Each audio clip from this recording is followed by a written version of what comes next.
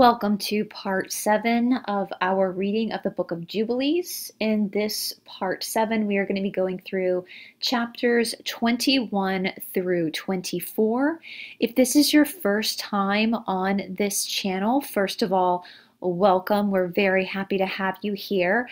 However, I would suggest starting with part one, which obviously begins with chapter one of the book of Jubilees. If you are new to this channel, every week on Wednesdays, we recap the text that we spoke about on the Dark Outpost TV the day before with David Zublick. Every Tuesday on the darkoutposttv.com, we are going through chapter by chapter, book by book, all of the banned or heretical books from the Bible. And again, if you are new to this channel or if you are not new to this channel and you just missed some of the prior books that we've spoken about through our breakdown of all these missing books, I will have a link in the description box below of our playlist from the Dark Outpost, which includes all of the past episodes. As always, on the Dark Outpost, it is David and myself going through this together, so we do have more of a conversation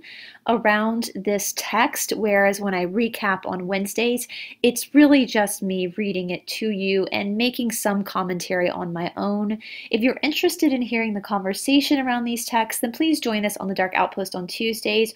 As of now, we are going live at 1 o'clock p.m. Eastern Standard Time, and so if you are on the platform, then you will be able to call into the show if you want to discuss something that we've read or if you have a question in that moment. Otherwise, you can catch the replay of that live episode in the evenings on the Dark Outpost TV or on BitChute and Rumble, and then, of course, as always, again on Wednesdays on Esoteric Atlanta.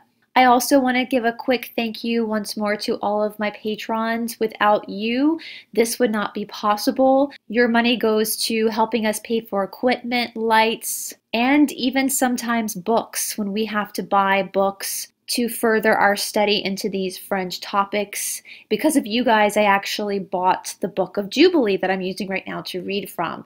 So thank you so much again for your support. If you would like to join our Patreon community, there is also a link down in the description box below. All right, let's get started with the book of Jubilee, part 7, chapter 21. So, this is going to be going over Abraham's death. This chapter is entitled Abraham's Last Words to Isaac.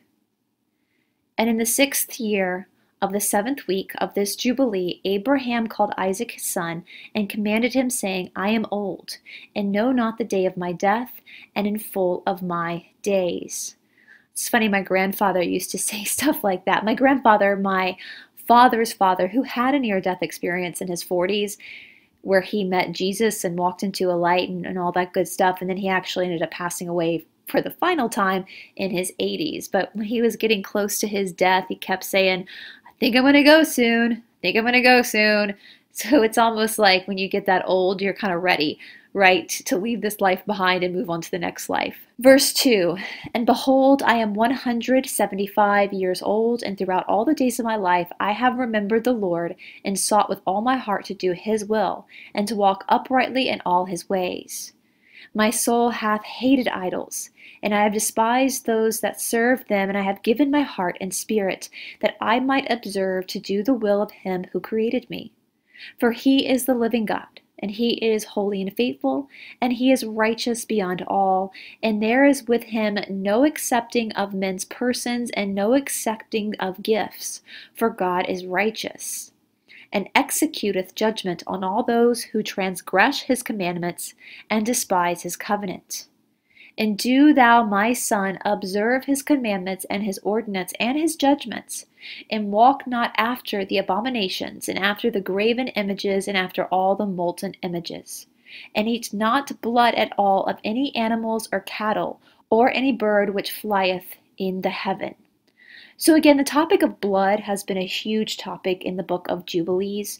And as I've said before, if I had done this reading 10 years ago, let's say, I probably would not have noticed that as much as it stands out to me now. And I think it's because most of us know what the elite do with blood. We're, we understand that now. And actually, that, as our friend Tarot by Janine calls it, the party drug that they use, the party wine that they use, we can't say the actual word of it on YouTube. That party wine is actually all over the Bible. The Bible talks about that actual party drug that involves blood throughout the Old Testament and the New Testament. And obviously, it's a huge grave topic of concern here in the book of Jubilee. Verse 7 And if thou dost slay a victim as an acceptable peace offering, slay it, and pour out its blood upon the altar, and all the fat of the offering offer on the altar with fine flour, and a meat offering mingled with oil, and its drink offering other than altogether on the isle of the burnt offering, it is a sweet savor before the Lord. And thou wilt offer the fat of the sacrifice of thanks offering on the fire which is upon the altar, and the fat which is on the belly, and all the fat on the inwards, and the two kidneys, and all the fat that is upon them, and upon the loins and the liver thou shalt remove together the kidneys. That's very graphic. And if you remember from our breakdown of the Book of the Holy Twelve, Jesus actually gets really upset about all these animal offerings that were happening in the temples around his life. And basically, that was part of his message was to stop making these um, animal or living being sacrifices. And after all these, for a sweet savor acceptable before the Lord, with its meat offering and with its drink offering for a sweet savor, the bread of the offering unto the Lord and eat its meat on the day and on the second day, and let not the sun on the second day go down upon it till it is eaten, and let nothing be left over for the third day, for it is not acceptable, for it is not approved, and let it no longer be eaten. And all who eat thereof will bring sin upon themselves. For thus I have found it written in the books of my forefathers, and in the words of Enoch, and in the words of Noah. And on all thy oblations thou shalt strew salt, and let not the salt of the covenant be lacking in all thy, thy oblations before the Lord. And as regards to the wood of the sacrifice, beware lest thou bring other wood for the altar in addition to these cypress, diffron, sag, pine, fir, cedar, savin, palm, oil, myrrh, laurel, and citron, juniper, and balsam. So very strict about the way the altar should be made and with what woods. Verse 13 And of these kinds of wood lay upon the altar under the sacrifice, such as have been tested as to their appearance, and do not lay thereon any splint or dark wood, but hard and clean without fault, a sound and a new growth, and do not lay thereon old wood, for its fragrance is gone, and there is no longer fragrance in it as before. Besides these kinds of wood, there is none other that thou shalt place on the altar, for the fragrance is dispersed, and the smell of its fragrance goeth up not into heaven. Observe this commandment and do it, my son, that thou mayest be upright in all thy deeds. And at all times be clean in thy body, and wash thyself with water before thou approachest to offer on the altar. And wash thy hands and thy feet before thou drawest near the altar. And when thou art done sacrificing, wash again thy hands and thy feet and let no blood appear upon you nor upon your clothes. Be on thy guard, my son, against blood, and be on thy guard exceedingly, cover it with the dust. And do not eat any blood, for it is the soul. Eat no blood whatsoever. So, again, your genetic coding is in your blood. We've talked extensively about different bloodlines on Esoteric Atlanta. I myself am an Rh negative, and that is a very specific type of blood. There's definitely more to blood types than they've let us know about our origins as people. So it's interesting that this is a very strict commandment from the book of Jubilee not to eat any blood. And take no gifts for the blood of man, lest it be shed with impunity, without judgment. For it is the blood that is shed that causeth the earth to sin. And the earth cannot be cleansed from the blood of a man, save by the blood of him who shed it. And take no present or gift for the blood of man, blood for blood, that thou mayest be accepted before the Lord, the Most High God, for he is the defense of the good, and that thou mayest be preserved from all evil, and that he may save thee from every kind of death. I see, my son, that all the works of the children of men are sin and wickedness. And all their deeds are uncleanliness and an abomination and a pollution, and there is no righteousness with them. Beware lest thou shouldest walk in their ways, and tread in their path, and sin a sin unto death before the Most High God, else he will hide his face from thee, and give thee back into the hands of thy transgression, and root thee out of the land, and thy seed likewise from under heaven, and thy name and thy seed will perish from the whole earth. Turn away from all their deeds and all their uncleanliness, and observe the ordinance of the Most High God, and do his will, and be upright in all things. And he will bless thee in all thy deeds, and will raise up from thee the plant of righteousness through all the earth, throughout all generations of the earth. And my name and thy name will not be forgotten under the heaven forever. Go, my son, in peace. May the Most High God, my God, and thy God, strengthen thee to do his will. And may he bless all thy seed, and the residue of thy seed for the generations forever, with all righteousness blessings, that thou mayest be a blessing on all the earth. And he went out from him rejoicing. So this brings us to chapter 22, Isaac, Ishmael, and Jacob join in festival with Abraham for the last time, Abraham's prayer. So again, remember Isaac and Ishmael are half brothers. Isaac is the son of Sarah. Sarah has already passed away. Ishmael is the son of Hagar. Hagar herself has also already passed away. Now, again, our Muslim brothers and sisters follow Ishmael as Abraham's firstborn son and what they believe is the promise of the covenant, whereas Christians and Jewish people follow Isaac, the son of Sarah, as being the firstborn son, that is the son of the covenant. And it's going to come through from Isaac to Jacob. Esau is Jacob's twin. Now, we learned last week that Isaac preferred Esau to Jacob, and Rebekah, Isaac's wife, who was also his first cousin once removed, prefers Jacob, as did Abraham. Jacob is Abraham's grandson. So here we go, chapter 22. And it came to pass in the first week, in the forty fourth Jubilee in the second year, that is the year in which Abraham died, that Isaac and Ishmael came from the well of the oath to celebrate the feast of the weeks. That is the feast of the first fruits of the harvest to Abraham their father, and Abraham rejoiced because his two sons had come. For Isaac had many possessions in Beersheba, and Isaac was wont to go and see his possessions and return to his father. And in those days Ishmael came to see his father, and they both came together. And Isaac offered a sacrifice for a burnt offering and presented it on the altar of his father, which he had made in Hebron. And he offered a thank offering and made a feast of joy before Ishmael his brother. And Rebekah made new cakes from a new grain. Again, Rebekah is Isaac's wife, and she would be Ishmael's sister in law. So Rebekah made a new cake from the new grain and gave them to Jacob her son to take them to Abraham his father from the first fruits of the land that he might eat and bless the Creator of all things before he died. And Isaac too sent by the hand of Jacob to Abraham a best thank offering that he might eat and drink. And he ate, he drank, and he blessed the Most High God, who hath created heaven and earth, who hath made all the fat things of the earth, and given them to the children of men, that they might eat and drink and bless their Creator. And now I give thanks unto thee, my God, because thou hast caused me to see this day. Behold, I am one hundred threescore and fifteen years, an old man and full of days, and all my days have been unto me peace. The sword of adversary hath not overcome me in all that thou hast given me and my children all the days of my life until this day. My God, may thy mercy and thy peace be upon thy servant and upon the seeds of his sons, that they may be to thee a chosen nation and an inheritance from amongst all the nations of the earth, from henceforth unto all the days of the generations of the earth, unto all the ages.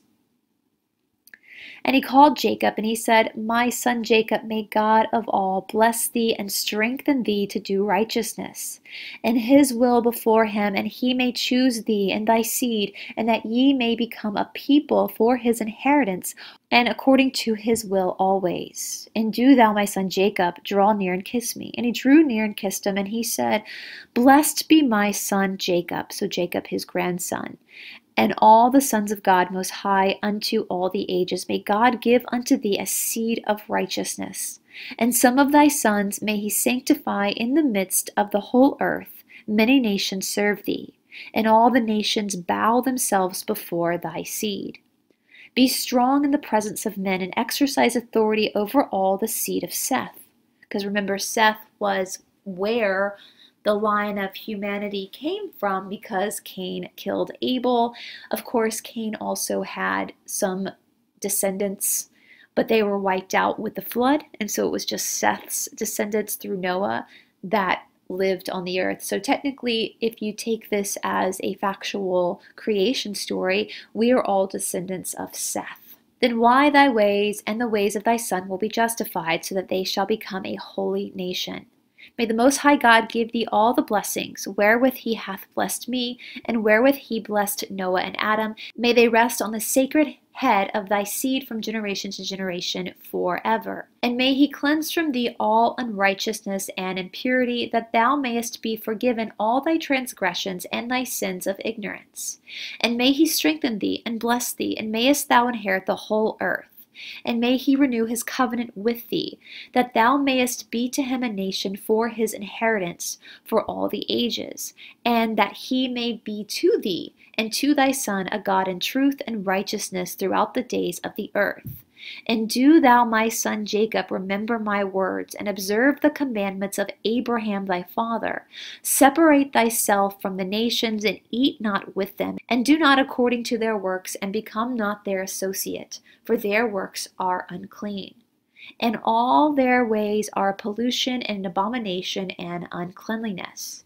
They offer their sacrifices to the dead, and they worship evil spirits, and they eat over the graves, and all their works are vanity and nothingness. And they have no heart to understand, and their eyes do not see what their works are, and how they err in saying to a piece of wood, Thou art my God, and to a stone, Thou art my Lord, and Thou art my deliverer. And they have no heart. And as for thee, my son Jacob, may the Most High God help thee, and the God of heaven bless thee, and remove thee from their uncleanliness, from all of their error. So again, remember earlier in this book, Abraham, before he was Abraham, when he was Abram, he was very upset by the fact that his own father worshipped actual wooden idols that had been made by man. And he always just worshipped the one God. And actually, as a younger person, Abram, as he was called then, Abram, not Abraham, burned down the temple of these false idols that his village had. Verse 20 Be thou ware, my son Jacob, for taking a wife from any seed of the daughters of Canaan, for all his seed is to be rooted out of the earth. Again, Canaan is the Canaanites. It's our royal families today, the Phoenicians. For owing to the transgressions of Ham, Canaan erred, and all of his seed will be destroyed from off the earth, and all the residue thereof, and none springing from him will be saved on the day of judgment. And as for all the worshippers of idols and the profane, there will be no hope for them in the land of the living, and there will be no remembrance of them on earth. For they will descend into Sheol, which is another word for Hades, and in the place of condemnation they will go, as the children of Sodom were taken away from the earth, so will all those who worship idols be taken away. So again, yes, we're talking about the Canaanites that we know now. The Canaanites who rule our world are all Luciferians, at least if you have been waking up over these past few years, you know exactly what we're talking about. And we also know that in Sodom, according to the book of Jubilee, what was happening in Sodom isn't what we were taught in Sunday school. What was happening in Sodom was incest. So, this whole idea of sodomy coming from Sodom isn't actually accurate compared to the book of Jubilee. It was incest, it was fathers having inappropriate relationships with their daughters, as it was spoken about in the book of Jubilee. So, that's interesting, right? Fear not, my son Jacob, and be not dismayed, O son of Abraham. May the Most High God preserve thee from destruction, and from all the paths of error may he deliver thee. This house have I built for myself, that I might put my name upon it in the earth. It is given to thee and to thy seed forever, and it will be named the house of Abraham. It is given to thee and to thy seed forever, for thou wilt build my house and establish my name before God forever. Thy seed and thy name will stand throughout all generations of the earth. And he ceased commanding him and blessed him. And the two lay together on one bed, and Jacob slept in the bosom of, of, Abraham, his father's father, and he kissed him seven times in his affection, and his heart rejoiced over him. And he blessed him with all his heart and said, The Most High God, the God of all, the Creator of all, who brought me from Ur of the Chaldees, that he might give me this land to inherit it forever, and I may establish my holy seed, blessed be the Most High forever. And he blessed Jacob and said, My son, over whom with all my heart and my affection I rejoice, may thy grace and thy mercy be lifted up upon him and upon his seed always. And do not forsake him, nor set him at naught from henceforth unto the days of eternity. And may thine eyes be open upon him and upon his seed. And thou mayest preserve him and bless him, and mayest sanctify him as a nation for thine inheritance and bless him with all thy blessing from henceforth upon all the days of eternity, and renew thy covenant and thy grace with him and with his seed according to all thy good pleasure unto all generations of the earth. It's interesting. There is um, a lady on YouTube. I don't know if she's still on YouTube, but Melissa Red Pill, the the the Earth or the World is her channel name, and she did a whole breakdown of the lineage of number 45, President T, can't say the full name on YouTube because of censorship, and he is of the line of Jacob. She was able to trace his lineage through his mother all the way back to Jacob, which is super fascinating if you know the story of Revelation. So this brings us to chapter 23 the death and burial of Abraham. And he placed two fingers of Jacob on his eyes, and he blessed the God of gods, and he covered his face and stretched out his feet, and slept the sleep of eternity and was gathered to his fathers. And notwithstanding all this, Jacob was lying in his bosom, and knew not that Abraham his father's father was dead. And Jacob woke from his sleep, and beheld Abraham was cold as ice. And he said, Father, Father. But there was none that spake, and he knew that he was dead. And he arose from his bosom, and ran and told Rebekah his mother. And Rebekah went to Isaac in the night, and told him. And they went together, and Jacob with them, and a lamp was in his ha- hand. And when they had gone, they found Abraham lying dead. And Isaac fell on the face of his father, and wept, and kissed him. And the voices were heard in the house of Abraham, and Ishmael and his son arose and went to Abraham his father, and wept over Abraham his father, and he and all the house of Abraham, and they wept with great weeping. And his sons Isaac and Ishmael buried him in the double cave near Sarah his wife, and they wept for him forty days. All the men of his house, and Isaac and Ishmael, and all their sons, and all the sons of Keturah, in their places, and in the days of weeping for Abraham were ended. So Keturah is Abraham's third wife. We talked about her last week.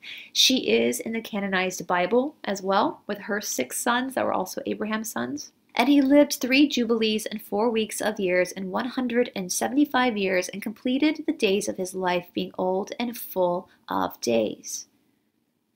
And now we're going to come to verse 9 of chapter 23, and there's a little um, title here The Decreasing Years and Increasing Corruption of Mankind. So now we're going to start to see how our life is now not, we don't live as long as they lived. Obviously, we what lived to about 80 years old, and here we're seeing people get in well, well into their 100s, close to 200. Of course, we know Noah lived to be 950 years old, so it's interesting they have a little mark here that verse 9 through 17 is going to talk about the decreasing years and increasing corruption of mankind.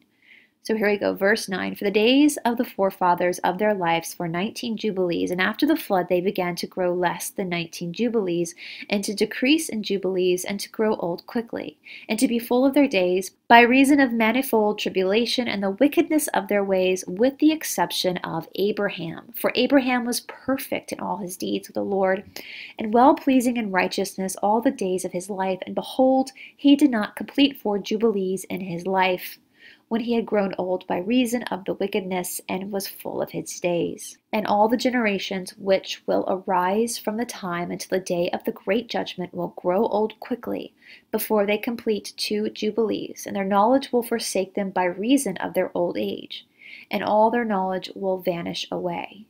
And in those days, if a man live a jubilee and a half of years, they will say regarding him, He hath lived long. And the greater part of his days are pain and sorrow and tribulation, and there is no peace. So a jubilee, that's the whole marking of time, was 49 years. So that's correct. So we live about, you know, let's let's just round that up to 50. So yeah, like 75 years, 80 years. So that's correct. That's that's about how long we live now. So, verse 13 For calamity followeth on calamity, and wound on wound, and tribulation on tribulation, and evil tidings on evil tidings, and illness on illness, and all evil judgments, such as these, one with another, illness and overthrow, and snow and frost and ice, and fever and chills, and torpor and famine and death, and sword and captivity, and all the things of calamities and pain. And all these will come on an evil generation, which transgresseth on the earth. Their works are uncleanliness, and fornication, and pollution, and abominations. And they will say, The days of the forefathers were many, even unto a thousand years. That's funny, we were just talking about that. So, yes, we will say that. And were good, but behold, the days of our life, if a man hath lived many years, are threescore years and ten, and if he is strong, fourscore years, and those evil, and there is no peace in the days of his evil generation. And in that generation the sons will convict their fathers and their elders of sin and unrighteousness, and of the words of their mouth and the great wickedness which they perpetrate, and concerning their forsaking the covenant which the Lord hath made between them and him, that they should observe and do all his commandments and his ordinance and all his laws, without departing either to the right hand or to the left. For all have done evil, every mouth speaketh iniquity, and all their works are the uncleanliness and the abomination, and all their ways are pollution, uncleanliness, and destruction. Behold, the earth will be destroyed on account of all their works, and there will be no seed of the vine, no oil, for their works are altogether faithless. And they will all perish together, beast and cattle and birds, and all the fish of the sea, on account of the children of men. And they will strive one with another, the young with the old, and the old with the young, the poor with the rich, and the lowly with the great, and the beggar with the prince, on account of the law and the covenant. For they have forgotten commandment and covenant, and feasts and months and Sabbaths, and jubilees, and all the judgments. And they will stand with bows and swords and war to turn them back into the way, but they will not return until much blood hath been shed on the earth, one by another. And those who have escaped will not return from their wickedness to the ways of righteousness, but they will all exalt themselves to deceit and wealth. And they may each take all that is his neighbor's, and they will name the great name, but not in truth and not in righteousness. And they will defile the Holy of Holies with their uncleanliness and the corruption of their pollution. And a great punishment will befall the deeds of this generation from the Lord, and he will give them over to the sword, and to judgment, and to captivity, and to be plundered and devoured and he will wake up against them the sinners of the Gentiles who have neither mercy nor compassion, and who will respect the person of none, neither old nor young, nor anyone, for they are more wicked and strong, and do evil than all the children of men. And they will use violence against Israel, and transgressions against Jacob, and much blood will be shed upon the earth, and there will be none to gather and none to bury. And in those days they will cry aloud and call and pray that they may be saved from the hand of the sinner, the Gentiles, but none will be saved. And the head of the children will be white with gray hair, and a child of three weeks will appear old like a man of one hundred years, and their stature will be destroyed by tribulation and oppression. And in those days the children will begin to study the laws and seek the commandments and return to the path of righteousness. And the days will begin to grow many and increase amongst those children of men till their days draw nigh to one thousand years, and to a great number of years than before was the number of days. And there will be no old man, nor one who is not satisfied with his days, for all will be as children and youth. So it sounds like they're really talking about what's happening now, which I think most of us on this channel agree that we are in the book of Revelation, which if you're following along, the book of Revelation actually isn't a scary story. It's actually good news because we're not the ones that are experiencing the tribulation. It's the Canaanites who are experiencing the tribulation. So, verse 29 And all their days will be complete and live in peace and enjoy. So, again, a thousand years of peace that we're coming into. And there will be no Satan, nor any deliverer destroying, for all their days will be days of blessing and healing.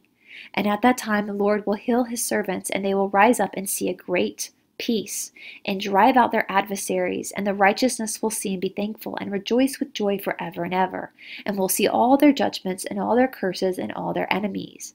And their bones will rest in the earth, and their spirits will have much joy, and they will know that this is the Lord who executeth judgment, and showeth mercy to hundreds and thousands, and to all the love of him. And do thou, Moses, write down these words, for thus are they written, and they are recorded on the heavenly tables for a testimony for the generations forever. So, again, if you're just joining us and you haven't listened to the first parts of this book, this is the angels telling the story of all these people. It wasn't just Abraham, it was also Enoch and, and uh, Noah. Uh, we're just now at the place of Abraham, the genealogy of what happened in the beginning, basically. It's on Mount Sinai where he also collects the Ten Commandments. So this is going to bring us to chapter 24 Isaac at the well of vision. Esau sells his birthright. And it came to pass, after the death of Abraham, the Lord blessed Isaac his son, and he arose from Hebron, and went and dwelt at the well of the vision in the first year of the third week of this Jubilee seven years. And in the first year of the fourth week a famine began in the land, besides the first famine, which had been in the days of Abraham. And Jacob sawed lentil porridge, and Esau came from the field hungry. And he said to Jacob his brother, Give me some of this red porridge. And Jacob said to him, Sell to me thine birthright, and I will give thee bread, and also some of this lentil porridge. And Esau said in his heart, I shall die. Of what profit to me is this birthright? And he said to Jacob, I give it to thee. And Jacob said, Swear to me this day, and he sware unto him. And Jacob gave his brother Esau bread and porridge, and he ate till he was satisfied. And Esau despised his birthright. For this reason was Esau's name called Edom, on account of the red porridge which Jacob gave him for his birthright. So Edom or Esau is the the patriarch, I guess you could say, of the Edomites, which is super interesting. And if you guys want me to do a breakdown of the Edomites, let me know in the comment section below and I will be glad to. And Jacob became the elder, and Esau was brought down from his dignity. And the famine was over the land, and Isaac departed to go down into Egypt in the second year of this week, and went to the king of the Philistines to Gerar unto Amalek. And the Lord appeared unto him and said unto him, Go not down into Egypt, dwell in the land that I shall tell thee of, and journey in this land, and I shall be with thee and bless thee. For to thee and to thy seed shall I give all this land, and shall I establish my oath, which I swear unto Abraham thy father. And I shall multiply thy seed as the stars of heaven, and shall give unto thy seed all this land. And in thy seed will all the nations of the earth be blessed, because thy father obeyed my voice and kept my charge, and my commandments, and my laws, and my ordinances, and my covenant and now obey my voice and dwell in this land. And he dwelt in Gerar three weeks of years, and in Amalek charged concerning him and concerning all that was his, saying, Any man that shall touch him or aught that is his shall surely die. And Isaac waxed strong among the Philistines, and he got many possessions, oxen and sheep and camels and asses, and a great household. So I guess a great household means many servants. And he sowed the land of the Philistines and brought in a hundredfold, and Isaac became exceedingly great, and the Philistines envied him. Now all the wells which the servants of Abraham had dug during the life of Abraham, the Philistines had stopped them after the death of Abraham and filled them with earth. And Amalek said unto Isaac, Go from us, for thou art much mightier than we. And Isaac departed thence in this first year of the seventh week, and journeyed in the valley of Gerar. And they digged again the wells of water which the servants of Abraham his father had digged, and which the Philistines had closed after the death of Abraham his father, and he called their names as Abraham his father had named them. And the servants of Isaac dug a well in the valley and found living water, and the shepherds of Gerar strove from the shepherds of Isaac, saying, The water is ours. And Isaac called the name of the well Perversity, because they had been perverse with us. And they dug a second well, and they strove for that also, and he called it enmity. And then he arose from thence, and they digged another well. And for that they strove not, and he called the name of it room. And Isaac said, Now the Lord hath made room for us, and we have increased in the land. And he went up from thence to the well of the oath in the first year of the first week in the forty fourth Jubilee. So the well of the oath was Abraham, his grandfather's well. And the Lord appeared to him that night on the new moon of the first month, and said unto him, I am the God of Abraham thy father, fear not, for I am with thee, and shall bless thee, and shall surely multiply thy seed as the seed of the earth, for the sake of Abraham my servant. And he built an altar there, which Abraham his father had first built, and he called upon the name of the Lord, and he offered sacrifice to God of Abraham his father. And they digged a well, and they found living water. And the servants of Isaac digged another well and did not find water. And they went and told Isaac that they had not found water. And Isaac said, I have sworn this day to the Philistines that this thing hath been announced to us. And he called the name of the place the well of the oath, for there he had sworn to Abimelech and Hazueth, his friend, and Phicol the perfect of his host. And Isaac knew that day that under constraint he had sworn to them to make peace with them. And Isaac on that day cursed the Philistines, and said, Cursed be the Philistines unto the day of wrath and indignation from the midst of all nations. May God make them a derision and a curse and an object of wrath and indignation in the hands of the sinners and in the hands of Kittim. And whoever escapeth the sword of the enemy and the Kittim may the righteous nation root out in judgment from under heaven, for they will be the enemies and the foes of my children throughout their generations upon the earth. And no remnant will be left of them, nor one that will be saved on the day of the wrath of judgment. For the destruction and rooting out and the expulsion from the earth is the whole seed of the Philistines. And there will no longer be left for these Caphtorian, a name or a seed on the earth. For though he ascended unto heaven, thence will he be brought down. And though he made himself strong on earth, thence he will be dragged forth. And though he hide himself amongst the nations, even from thence will he be rooted out.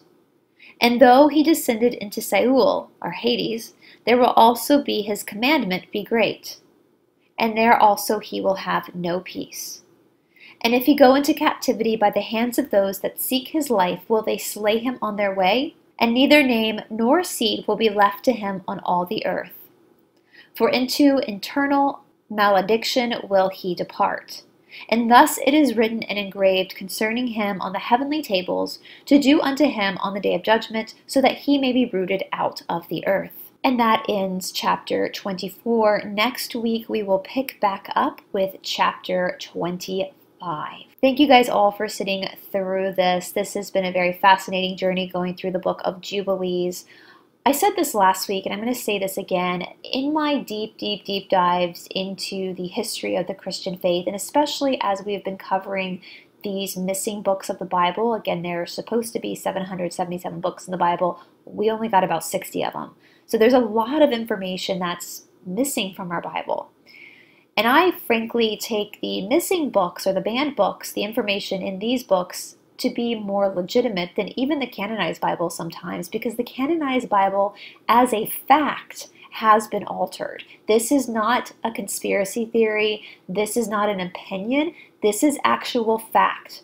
The Bible that we have has gone through the shredder multiple times and has been changed by men to fit their own narrative and to command nations in the way that they want to command nations. This again is fact. This happened. And so, with these missing books, we're seeing a lot of information that has not been altered because these books were hidden for so many years. Now, with that being said, as well, it has come to my attention that many denominations teach things differently. And last week on the Dark Outpost, I asked for people to let me know if they knew some of these stories because some of the stories regarding Abraham, especially his name change or the fact that his wife Sarah had been taken captive by the Pharaoh, I did not grow up with those stories as a child. Now, a lot of people were very respectful when they wrote in saying they knew the story or not knew the story. A lot of people did not know that story, just like myself, but some people were downright rude when they sent their emails in and aggressive and angry. And I just want to remind people that emailing somebody hateful emails because you grew up with a biblical story that other people and other denominations did not grow up with is not acting of God. That is actually acting of the devil, of the darkness, of evil. And as I've said before, ignorance is bliss, but knowledge is power. We know now that different denominations are taught different stories. And so I'm going to remind everybody to judge not, lest ye be judged. As we go through these books, there might be episodes in these Bibles stories that I got growing up that maybe you didn't. And that's okay. Because we've all been manipulated. We've all been coerced by our vulnerabilities from some pretty awful people throughout history that have weaseled their way into the churches. Please remember that Jesus' two commandments were to love thy God with all thy heart and to love each other as he has loved us. Sending in hateful emails is not loving your neighbor, especially when I have done nothing evil to you. All right, with that being said, I also want to say thank you to everybody else who's been involved in this conversation and all the positive comments that we've received and the support that we've received. As Ram Dass said, we are all just walking each other home. I hope that you guys are having a fabulous week, and I hope that the rest of your week gets even, even better. Thank you again to Josh McKay for doing our music, and thank you so much to Todd Roderick for helping me get this video out to you guys today. I will talk to you soon. Bye.